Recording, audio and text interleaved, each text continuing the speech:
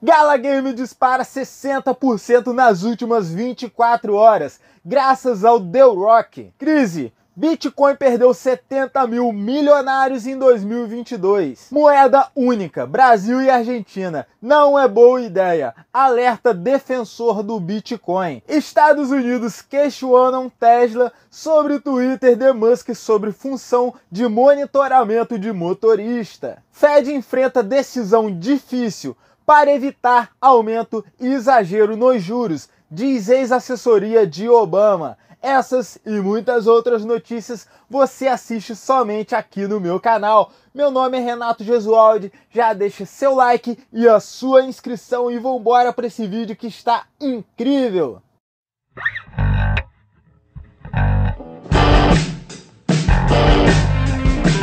Crise: Bitcoin perdeu 70 mil milionários em 2022.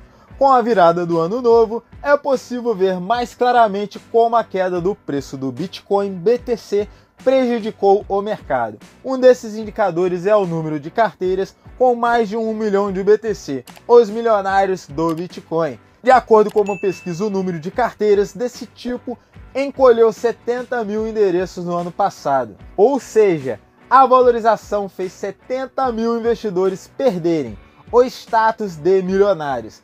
Cabe frisar, no entanto, que isso se refere a perdas gerais, isto é, tanto por vendas quanto por perdas não realizadas. Nome como Michael Saylor, por exemplo, sofreram perdas de riqueza mesmo sem vender nenhum BTC no ano passado.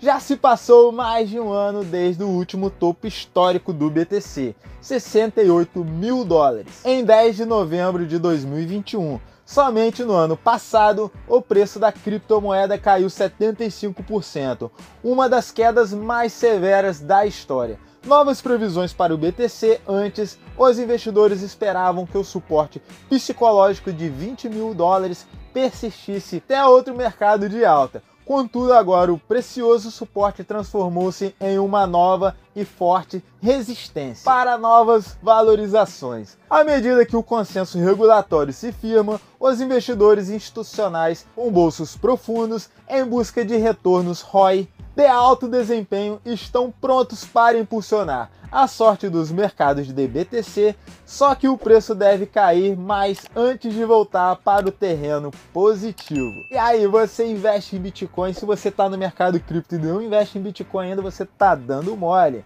Então vamos embora para a próxima notícia de hoje. Não deixe de deixar seu like e a sua inscrição. Moeda única entre Brasil e Argentina não é uma boa ideia, segundo entusiastas do Bitcoin. Entusiasta do Bitcoin não acredita que moeda única entre Brasil e Argentina seja uma boa ideia. Fato é que o debate sobre a criação de uma moeda única entre países da América do Sul tem suscitado dúvidas entre investidores brasileiros. Um deles enviou uma pergunta para Fernando Urich, conhecido por ser apoiador do Bitcoin de longa data. Segundo o executivo da Liberta, um dos maiores escritórios da XP Investimentos no Brasil, Fernando Urich disse que a ideia não é boa, nem apresentada por Guedes nem por Haddad. Segundo sua visão, são países com políticas fiscais totalmente diferentes, que não teriam união no sentido. A união apenas monetária poderia similar aos problemas vividos na região do euro, com a diferença que a América do Sul não há países com uma história de estabilidade financeira. Para Urich, a Europa se beneficia por contar com países como Alemanha, Áustria, entre outros, que financiam os países menos desenvolvidos do continente. Agora, já na região sul-americana, todos são países fracos e com história de inflações altas. Uma solução viável sobre o assunto, de acordo com Fernando Urich, seria adotar o dólar na economia, o economista austríaco entende ser difícil o movimento, mas que seria melhor que uma moeda única da região. Abre aspas, Bitcoin não deve se recuperar em 2023, mas oportunidade de compra é interessante, fecha aspas. Investidor há anos de Bitcoin, Fernando Urich, não acredita que o mercado deva se recuperar ainda em 2023. Abre aspas, eu não espero nenhuma grande movimentação em 2023, principalmente devido ao cenário macro desafiador, talvez em 2024. Algum vislumbre mais claro de queda de juros, eu acho difícil vermos isso tão cedo. Posso estar errado, mas aí pode ser mais provável esse ano não conto com isso. Fecha aspas. E aí, você concorda com o autor dessa matéria? Deixe aqui nos comentários a sua opinião. Eu peço mais uma vez, se inscreva no canal, já deixe seu like e vambora para a próxima notícia de hoje. Estados Unidos questionam Tesla sob Twitter de Musk sobre função de monitoramento de motorista. Washington Reuters, a agência de segurança do tráfego em rodovias dos Estados Unidos, National Highway Traffic Safety Administration. No inglês, ó, tá show de bola. Disse nesta segunda-feira estar em contato com a Tesla sobre um tweet do presidente executivo da montadora Elon Musk, que cita uma função de monitoramento de motorista. Um Twitter de 31 de dezembro sugeriu que os motoristas com mais de 16 mil quilômetros rodados com carro da Tesla e que utilizam o sistema Full Service Drive deveriam poder desativar um alerta que instrui motoristas a segurarem o volante do veículo para confirmar que estão prestando atenção na condução do automóvel. Musk respondeu: Concordo, atualização chegando em janeiro. A NHTSA disse nesta segunda-feira que está em contato com a Tesla para coletar informações adicionais. A Tesla não comentou o assunto. A agência de segurança automotiva confirmou que as perguntas sobre o tweet de Musk estão ligadas à investigação em andamento sobre o problema no sistema de assistências ao motorista, a Autopilot em 830 mil veículos Tesla.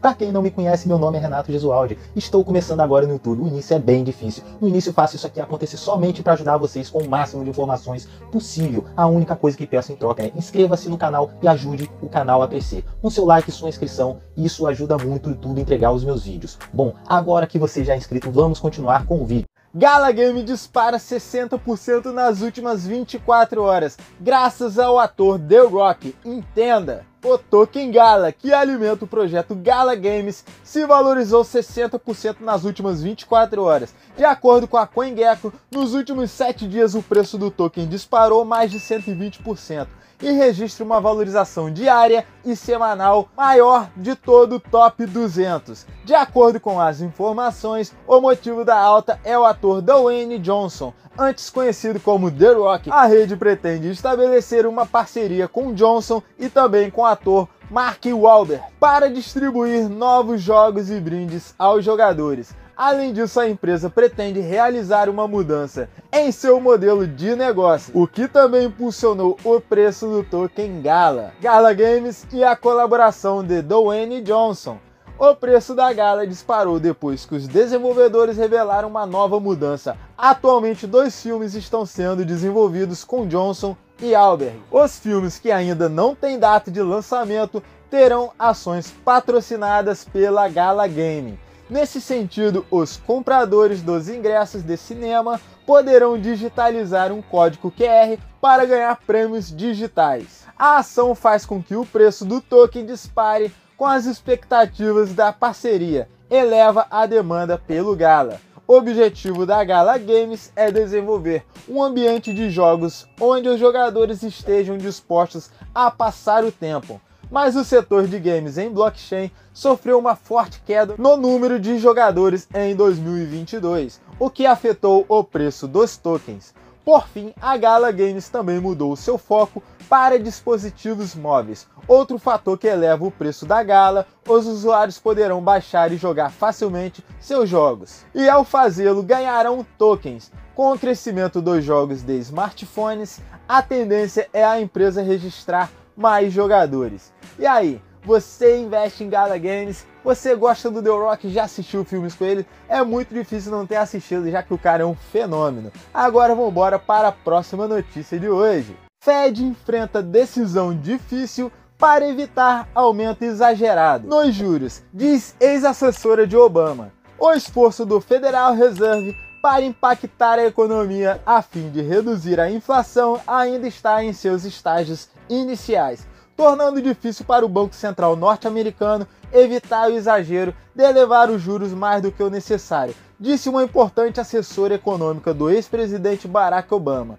O Fed elevou sua taxa de juros em mais de 4 pontos percentuais no ano passado. E só agora estamos entrando na janela em que os efeitos podem começar a ser notados, disse Christina Homer, professora de economia da Universidade da Califórnia em Berkeley e presidente do Conselho de Assessores Econômicos CEA da Casa Branca de 2009 a 2010, em um encontro nacional de economistas no sábado. Abre aspas. Devido aos atrasos envolvidos, as autoridades enfrentarão uma decisão muito difícil sobre quando interromper os aumentos dos juros ou reverter o curso.